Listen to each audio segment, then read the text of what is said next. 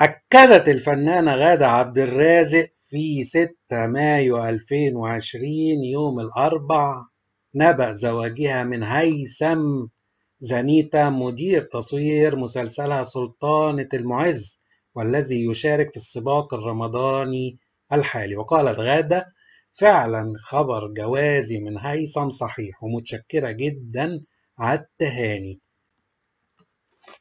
ويقال حاليا أن زنيتا يصغر غادة عبد الرازق بنحو عشرين سنة. دي معلومة مش مؤكدة بس هو تقريبا فرق السن كده. وهنشوف دلوقتي مين زوجها الأول ومين أزواجها الحداشر اللي فاتوا.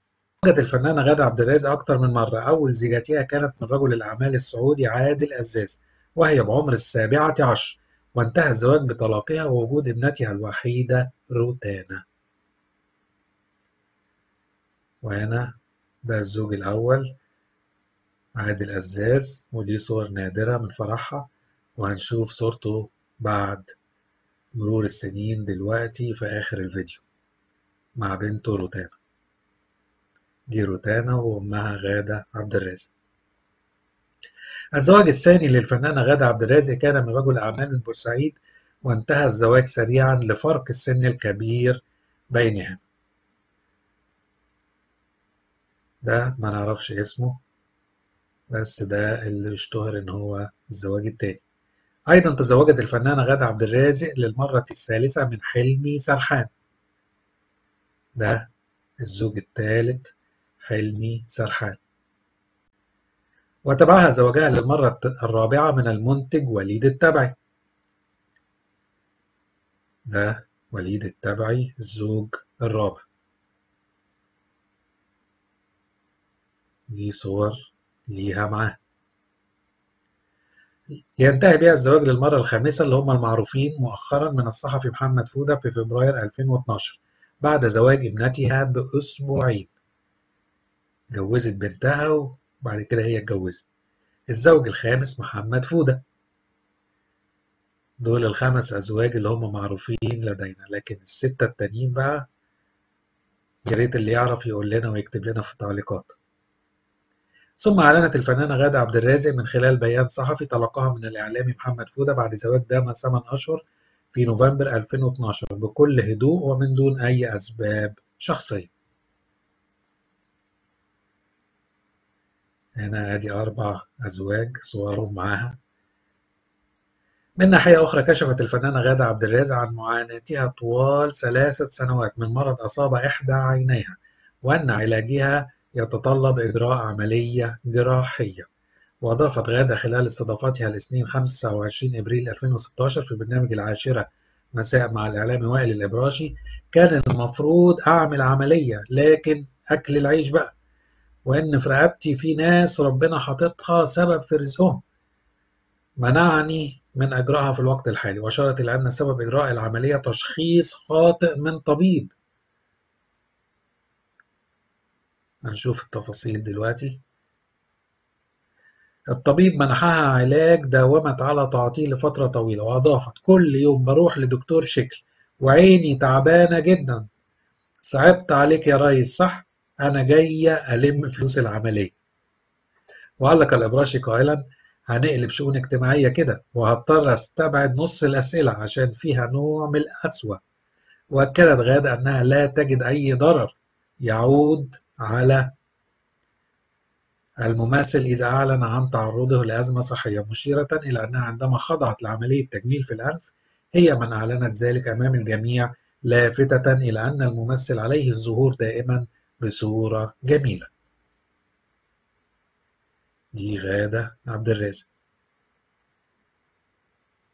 واحتفلت الفنانة غادة عبد الرازق بزفاف ابنتها روتانا على نقيب شرطة حامد الشايب وأقيم الحفل بفندق الفور سيزون جاردن سيتي وبدأ في الحادية عشر مساء واستمر لما بعد السادسة صباحا. وخطفت غادة عبد الرازق أنظار الجميع بسبب انخفاض وزنها بشكل ملحوظ وقامت باستقبال كل نجوم مصر من الفنانين والإعلاميين والرياضيين والسياسيين أيضا. أكيد طبعا كله حضر الفرح. هنا في خطوبة بنتها روتانا.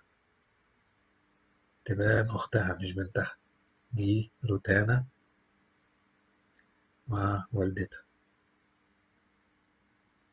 وبمناسبة الكلام عن النجمة غادة عبد الرازق فإليكم صور أختها ولن تصدقوا الشبه الكبير بينهما وكأنهما توأم.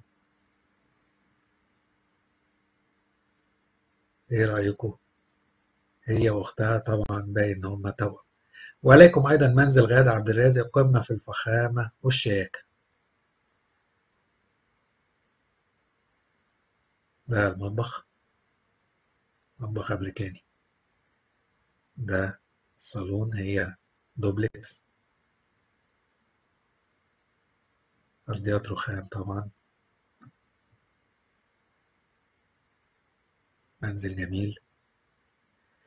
من ناحية أخرى أثارت حفيدتها النجمة المصرية غادة عبد الرازق موجة من التعليقات الجميلة والإعجابات بمقطعين من الفيديو فيديو نشرتهما غادة عبد الرازق على حسابها. الشخصي على موقع تطبيق الصور انستجرام لفت الأنظار لهم. غادة عبد الرازق شاركت الجمهور بحركات حفيدتيها خديجة وجويرية. وهما ترتديان ملابس الصلاة وتسجدان لتأدية الصلاة وتمارسان شعائر الدين الإسلامي بطريقة عفوية وطفولية باحتراف. هنا الصور بتاعتهم نشرتها على حساب على انستجرام. وأثاروا الإعجاب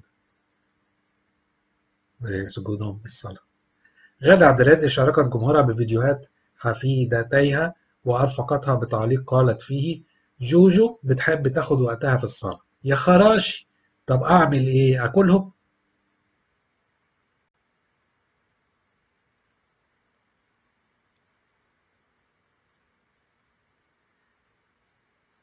دي أختها الكبرى. انتشر في الأيام الأخيرة خبر كاذب يفيد بأن غادة عبد الرازق أنجبت من زوجها محمد فودة وهي بسن ال 53 والمفاجأة أن غادة حاليا غير متزوجة.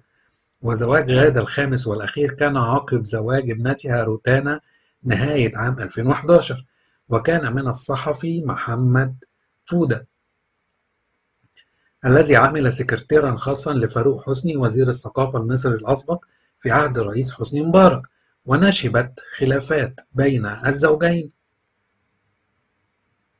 ليقع الطلاق الأول بينهما بعد عام تقريبا من الزواج ثم يعود فودة ويردها إليه ثم وقع الطلاق الثاني. لتسدل الستارة على هذه الزيجة بالطلقة الثالثة عام 2015 وحاليا يتم تداول مقطع فيديو للفنانة المصرية غادة عبد الرازق خلال جلسة دردشة مع الفانز. وسبب تداول الفيديو هو أن غادة تلقت عرض زواج من شاب أقصر منها. قال لها أنه سوف يعوض لها قصره بالحب والمشاعر فردت عليه أن يعوض لي قصره بالمشاعر والحب لا يلزمني أبدا. إذا كان أقصر مني كثيرا لن أقبل طبعا. هتبقى فضيحة وهيبقى شكلي وحش ولن أستطيع أن أدخل معه إلى أي مكان. وهل أحمله مثلا؟ لكن إذا كان أقصر مني بخمسة سنتي ممكن أما القصير جدا لا يمكن أن أقبل به. ما الذي يجبرني على ذلك؟ ومن ناحية أخرى استغلت روتانا ابنة الفنانة غادة عبد الرازق تواجدها لأداء شعائر العمرة في شهر رمضان لتزور والدها السيد عادل الأزاز. ده أول زوج لغادة عبد الرازق. في السعودية وقامت للمرة الأولى بنشر صورة حديثة تجمعهما والمفاجأة في إجماع متابعيها على الشبه الواضح بينها وبين والدها. والأكثر إثارة أن بعض التعليقات أكدت أن الفتاة الجميلة ورثت عن والدها الرزانة ورجاحة العقل. ده أول زوج لغادة عبد الرازق والد روتانا. قابلته في السعودية ونشرت صورة حديثة منه. وكتبت عليها دادي.